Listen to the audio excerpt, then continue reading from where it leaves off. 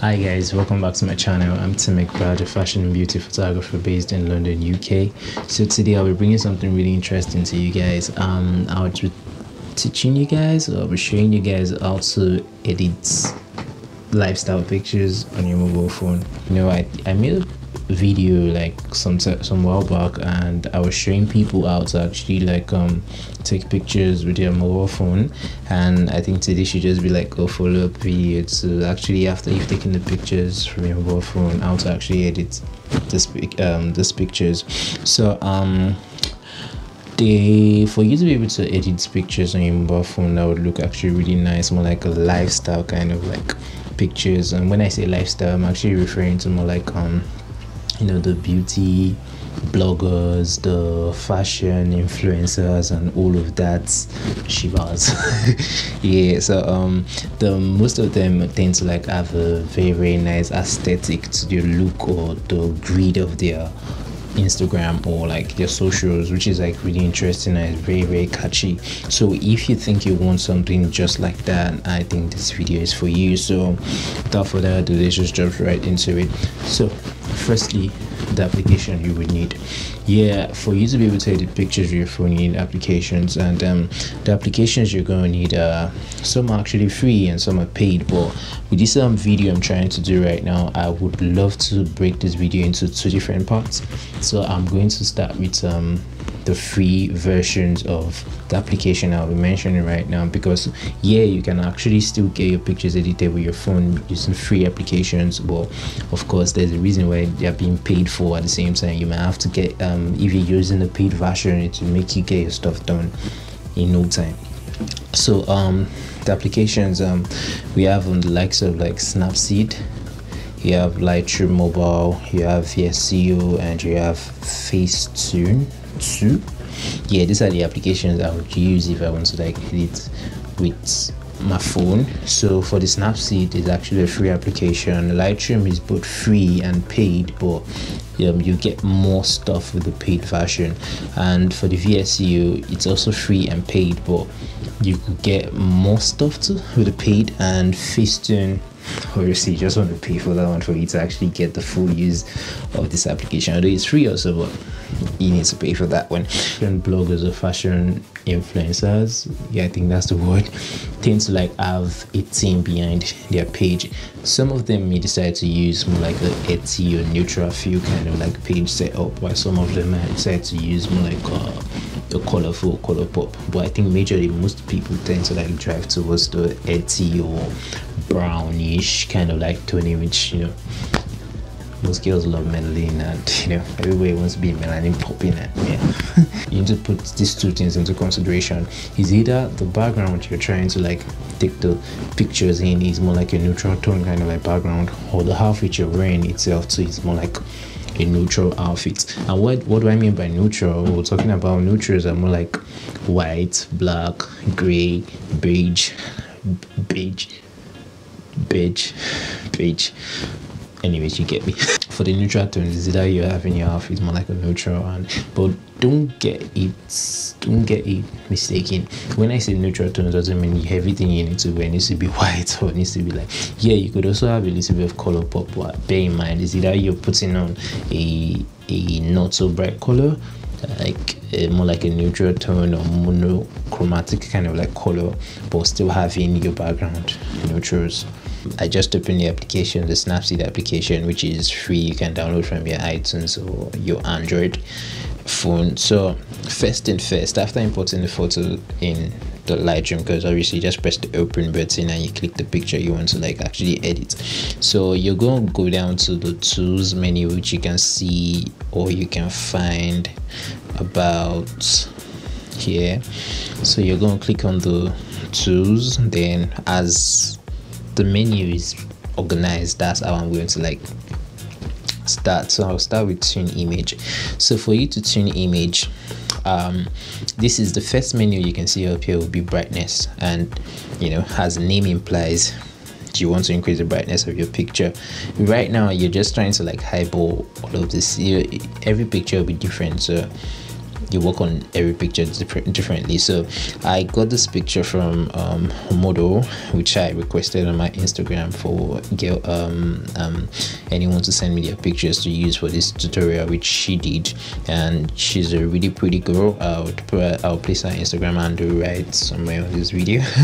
Yeah so she sent me this picture and and okay looking at this picture right here just analyze it you can see she is on more like a red and a white and also where she is right now is more like a neutral tone kind of like feel because it's like all a white background and all of that i think the similar at the back has a gray which is very nice. Good so for us to start we're going to start with the brightness. I'm going to increase my brightness a tad bit. Yeah since i'm going to this part which i think is all right then i'm going to slide hop you know i slide i slid to, to the right to increase the brightness. So i'm going to slide up this time so i could change the um, stuff to the contrast right now which is the next one. And if you don't want to slide you could easily just press this button right here to change it into contrast. So i'm going to click on my contrast and maybe add a little bit of contrast to the picture. I think um what makes up a what makes up a picture is not even really i think what makes up a picture is little minute changes actually make up your pictures look really amazing. It's normal like because you're seeing this picture and you have a software you just tend to like go it's gonna look really crazy guys. So yeah i'm just gonna add a little bit of contrast contrast to it. Um, i'm going to move down to my saturation. I'm not too sure if i want to add the saturation to it but i could just add a tad bit to it. Just add a little bit of color pop right there so i'll move on to the ambience. This is not really compulsory but let's see what it does. If i increase it you can see your skin is looking a little bit more lively compared to the previous one. I could add this a little bit. Let's do this. And the highlights. The highlights actually affect more like some of these areas. You see that yeah the back is looking a to be more brighter. I mean the background is looking a to be more brighter. Um i could increase the highlights then the shadows. The shadows is more like as you guys can see it's gonna affect the down part of our leg. So um shadows. Yeah just increase the shadow a little bit. Warmth i'm going to leave this warm because i really want to touch this because this is basically just to like make the image warm or make it really cold and take the slider to the other side. You don't want to touch that. So um i'm going to leave my warmth in zero and if I long press the screen I can see the before and the after of just that little stuff we have done. See guys? The before and the after. So I'm going to press OK. I'm going to move back to the tools menu this time. I'm going to skip the details. I'm going to skip the curves for now. And I'll go to the white balance. So this white balance is like really very very important guys click this eyedropper tool right here. When I click this I just want to select an area in my picture that actually looks white. Not an overexposed but not like a very bright part in my picture but just a part that looks somewhat white. And if I do that I can see what just happened to the picture. Press ok. This is the before and this is the after look at the color how the color changed just there you can see the background is looking a little bit like very dull and has like a little bit of green tint and all of that but right now it looks more like a proper white white I'm going to move to the selective. So what the selective does really in Snapseed is the areas in which you want to affect majority. It's more like, you know, as the name implies, select. I'm going to select the face area you can see it showed brightness. I'm going to now use my two fingers and actually pinch into the screen so I can just select the particular area I want which is because I want it to just affect the face only. So I'm going to select that part. I'm just using my two fingers to pinch in. So brightness I'm going to like increase my brightness right there because I want face to like pop more. And the same thing too. I'm going to add plus button and select around the leg area if I feel it's looking dark and pinch again guys. Don't forget pinch. So I'm going to pinch in to make my selection around that area and increase the brightness again from this. And I think we're looking good this way. But mind you, it's not only the brightness you could affect. You could decide to like screw up and affect the contrast, the saturation, and you know all those all of those stuff. But I think I would just do with the brightness only for this one, and just for you guys to see before, after, or just the brightness affected before, after, before, after. Okay, and the general before after we've done from the beginning. Bang, bang, bang, bang good. I'll come back to the tools again. After i've done my selective for this brush sometimes you might want to use it but really for a start right now that you're just trying to get into this um, i would advise you not to. Just leave the brush alone for now. Then i'm going to um, skip the brush. I'll come to the healing tool. This is very important. So the healing tool as the name implies it definitely is more like your blemishes and spots you have in your picture so for you to use the healing tool i'm going to use my two fingers again because i'm trying to just zoom in. It's best you zoom in to this pictures when you're trying to like use the healing tool because if you're zooming from if you're trying to ew generally let's say maybe around that leg area and you just want to take off the spots she has there and you do this it's gonna mess up your picture as you guys can see.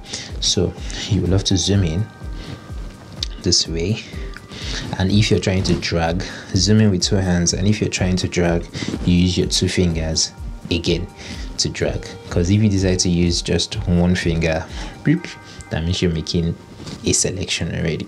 You don't want to do that. You use your two fingers. So you see maybe around this area. I'm going to paint. I'm zoomed in. I'm trying to take off those black spots right there. I'm just painting really just easy peasy. Just taking those stuff out. I'm gonna rush this so i don't waste everybody's time. Okay like i can see the veins in her leg right there. I paint that off. Paint off. Paint those off. Parts. Yeah you know you to check the face area. I can see a stray hair around here if you want to take that out you can take that out. Yes guys and press ok before after before after because is more like a full length kind of like picture so it's not really evidence that way you can actually see the loads of the and she got a really good skin. So guys i would go to the portrait menu and click on the portrait menu and i'll move down i'll move to the skin smoothing. I'll leave the face spotlight because really i don't want to use that. Just like make every other part dark and like brighten up the face but i'm just come down to the skin smoothing and increase the smoothing to the level or the parts i know that it's good enough for me because it's a personal preference but you know everything should actually be sub to so i'm going to put in about 60 plus 60 and press ok. And um, the next thing i'm going to do is maybe like um to the portrait um going to like the eye clarity. I would increase the eye clarity so it's to make the eye bright. So it's more like bright in the eyes. That's what it's going to do. So after i've done that to press ok and um let me show you guys the before and after of what we've done on snapseed. Before after before after. You can you guys can see just the little tweaks we've done. We've done quite a whole lot of stuff on this. So i'm going to export this right now to my phone just save a copy good. So right now i'll jump straight to the next application which i'm going to use to be VSCO and i basically use VSCO just to do my color grade or create the color the theme i kind of like like to the picture. So let's go straight into VSCO guys. So right here i'm going to come to my camera roll i'm going to select the picture we just edited of snapseed which is this one. I'm going to import it into my VSCO which is create a draft. So after i've created the draft i would come down to my draft pick this picture because i want to edit the picture. Um, i have my favorites um, i have my favorites colors that i use in vsco which is more of the c4 the a4 so but for this particular picture and this is currently a paid version of vsco so you might not have all of these ones in your version if it's free. So um i'm going to go down to the c4 right here. Uh, okay i think i passed already. This is the a4 you can see the brownish gold kind of like vibe. It just gives the picture before and after before and after. So but i'm going for the c which is the c4 that uh before after before after. Yes it's affected the reds but yeah i want our skin to look brownish. I want everything to look milky and like subtle. That's neutral that's just what i want so this i'm going to settle oh, for but mind you you could still do some little tweaks here. So i'm going to press ok. I'm going to come down to this adjustment here. I'll leave the adjustments out the exposure i'll leave it alone because i think everything looks good the way it looks. The contrast i could decide to add contrast or not but i could just add a little bit of contrast. Let's say about 5 plus 5 contrast. Then sharpen i'm going to add a little bit of sharpen to this because I know I'm exporting the final picture from here then clarity i'll leave the clarity because it's to mess up my skin tone if i turn it up you can see how bad that made the skin look. So i'll leave the clarity. Saturation personal preference. I might decide to add saturation just a tad bit to it so our skin looks lively. Yeah that's for the saturation. Then um um my highlights and shadow highlights this is basically just to recover your highlights in case you have a blown out area in your picture or an overexposed area. You when you turn this up it will recover it but i don't need that right now. I will leave the highlight the way it is. The shadow i'll leave the shadow the way it is because yeah it's recovering your shadow too. I don't want that. Cancel the skin tone i'm going to come down to the skin tone. If you increase your skin tone it has more of a green tint to it but i don't want green tint because i want my skin to my skin to look brownish. So i'm going to take it to the negative and make my skin look a little bit more brownish. And for the white balance i could decide to leave this white balance because we've done it in snapseed already so I could just add a little bit of tint to my white balance which is like magenta tone increase it to like plus one. Yeah I'm going to press OK so before I keep going let me show you guys the before and after. Before after before after. See how this looks. Good. So I'm going to move down to the split tones skip all these other ones keep um, split tone the shadow tint. I want to add a little bit more orange to the shadow tint. You can see it's currently in 12 percent. I never put my stuff in the highest. So I'm just going to add a little which is about 0.4 thereabouts. This is it. To the shadow highlights I decided to add a little bit of blue tint to the highlights maybe like 0.1 that's plus 0.1 I'm to do that to the highlight. And tada tada. So I'll move to the HSL which is um, the hue the saturation and the luminance. I need a glass of water. Good. So for the for this one your skin tone falls around the orange and the red for most skins. So what I would do right here is I'll go to the orange. I could so the the lightness is basically you want to increase the brightness of the orange and that's majorly your skin tone because your skin tone is more like the orange tone so if i do this not increase it you can see what's happening to the skin I don't want to increase it. I'm just going to leave it the way it is because I think the skin looks okay the way it is. Then for the saturation, if I want to increase saturation, I can maybe just a tad bit, but I decide to leave it the way it looks too. But let me just add the saturation of plus 0.3 and press ok. To this and that brings me to the end of my color grade on VSCO and let's see the before and after before after before after before after guys. So yeah this brings me to the end of my edit of using free applications to edit lifestyle pictures with your phone um, the next video I'll be dropping will be a video of actually using the paid version which is going to be the Facetune 2 and also the Lightroom mobile. So those ones will be much more like um they will get the job done faster and you would the job with the picture will look much more um retouched. So this still looks okay for like a basic if you know you don't want to like invest into um, buying most of these applications which i would advise you to if you know you're more like kind of person who wants to go into that line of being more like an influencer of fashion and all of that it's quite interesting for you to actually purchase them. So is going to bring me to the end of this video. Kindly like share comments and subscribe on my channel. And don't forget to click the notification icon down below to get notified as soon as i drop the next video